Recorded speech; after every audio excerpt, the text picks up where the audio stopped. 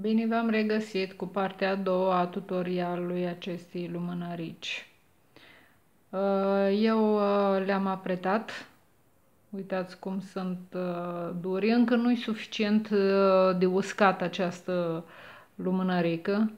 Uitați ce frumoasă este. Hai să vă arăt pe celelalte cum le-am apretat și le-am întins pe o placă cu bolduri. Acesta este un fir mai scump de efect zăpadă. Acesta este doar bumbac.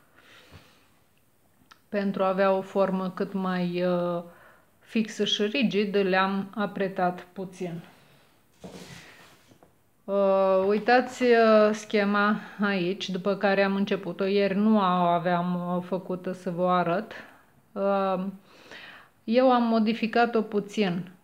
Pentru asta am făcut tutorialul. Rămăsesem uh, la petale. Am făcut încă 5 picioruși mici aici, plus acesta care este mai mare, două ochiuri de lanț în vârful petalei, patru ochiuri de lanț pentru a face acest pipiolinu și îl fixăm aici, Ok. Hai să vă mai arăt o dată cum țin eu firul pe mână pentru a căpăta viteză la, la lucru. Ok? Și îl tensionez doar cu degetul mic. Trecem în următoarea petală mică și facem alte, alte patru piciorușe mici.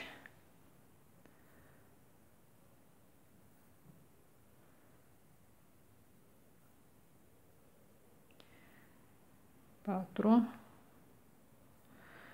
direct unul mic mic ca să închidem această petală mai mare. Apoi trecem în următoarea. Ok. Și am ajuns la ultimul rând. Am făcut ultimele patru picioruși înalte ultimul picioruș mic mic. Și mai facem o dată aici pentru a putea închide firul. Nu îl las prea lung pentru că de obicei uh, acestea care le apretez uh, să bagă firul puțin și dacă se apretează nu, mai, nu o să mai iasă.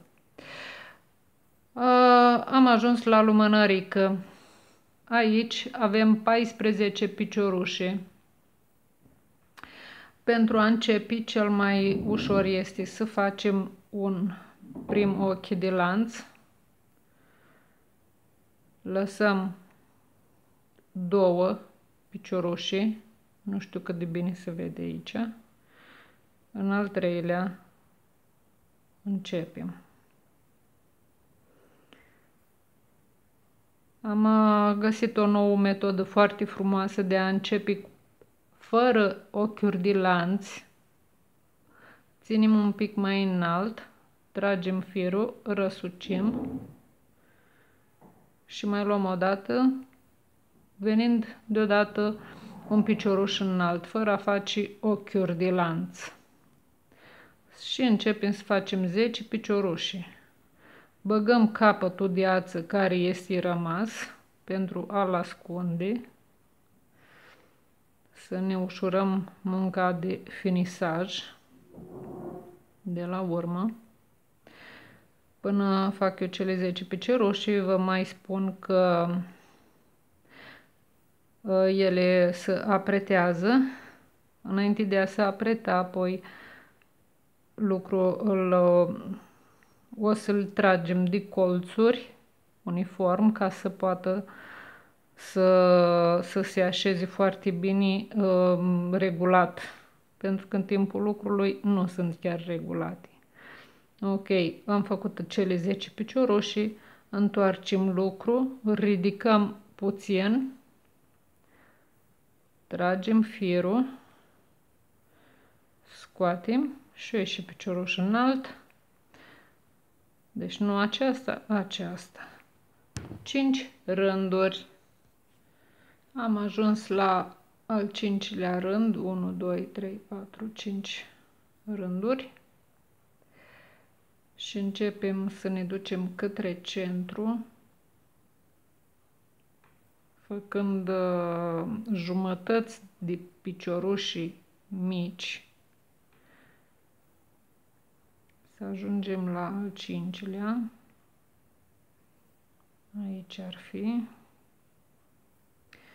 facem 12 ochiuri de lanț,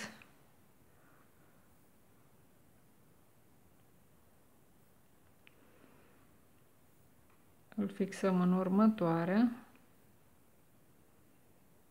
tot cu o jumătate de, de,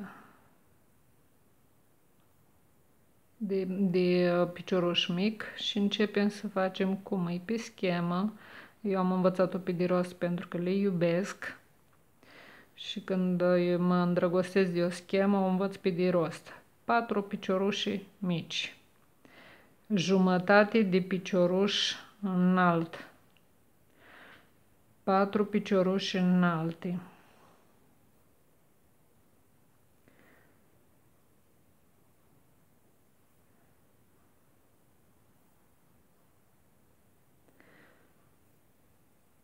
Jumătate de picioruș dublu. Deci scoatem o dată și apoi celelalte trei toate odată. Încă două piciorușe duble. 1 2 am ajuns la jumătatea flacărei. În schemă nu era prevăzut așa ceva dar eu prefer să-i fac o alungare de flacără așa îl putem agăța în brad este și mai util am făcut 12 uh, piciorușii mici, le fixăm în vârful ultimului picior înalt și acum privind în oglindă începem cu celălaltă jumătate de lumânare. Coborâm jos, mergem cu picioruș mic până la capăt. Uh, la urmă uh, se așează cel mai bine trăgând de el în diverse forme, părți pentru a se așeza cât mai bine. Vă mulțumesc că m-ați ascultat, spor la lucru!